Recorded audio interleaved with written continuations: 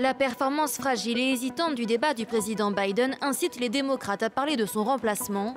Le débat a-t-il marqué le début de la fin de la présidence de Joe Biden?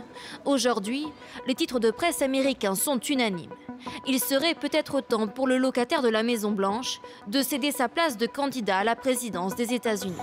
En cause, la performance calamiteuse de Joe Biden hier soir, souvent apparu l'esprit embrouillé face à son rival Donald Trump.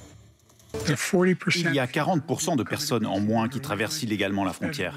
C'est mieux que lorsqu'il a quitté le pouvoir et je vais continuer à avancer jusqu'à ce que nous obtenions l'interdiction totale de l'initiative totale que nous allons faire avec euh, plus de patrouilles frontalières et d'agents d'asile. Je ne sais pas ce qu'il a dit à la fin de sa phrase et je pense qu'il ne le sait pas non plus. Les journalistes en viennent à questionner la vice-présidente Kamala Harris sur la candidature de Joe Biden. Certaines personnes à l'intérieur même de votre parti se posent la question si le président Biden ne devrait pas se mettre de côté. Qu'est-ce que vous avez à dire à cela? Écoutez, premièrement, ce que nous avons vu ce soir, c'est que notre président était dans un énorme contraste en ce qui concerne toutes les questions qui préoccupent les Américains. Oui, il y avait un démarrage difficile, mais la fin de son intervention était bonne.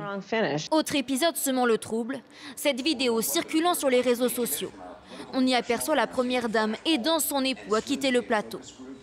La vitalité de Joe Biden inquiète sérieusement au sein même du camp démocrate. Les, démocrates vont essayer, de le, vont essayer de le convaincre. On voit des voix démocrates un peu partout euh, en ce moment qui, euh, qui, déjà disent, euh, quelques heures après le débat, il faut, il faut que ça s'arrête, il faut qu'on change notre candidat. Mais c'est pas simple, ça va être un déchirement au sein du Parti démocrate. La convention démocrate chargée de désigner officiellement le candidat du parti se tiendra au mois d'août. En cas de changement de candidat, celui-ci n'aura plus que deux mois avant le scrutin pour convaincre les électeurs.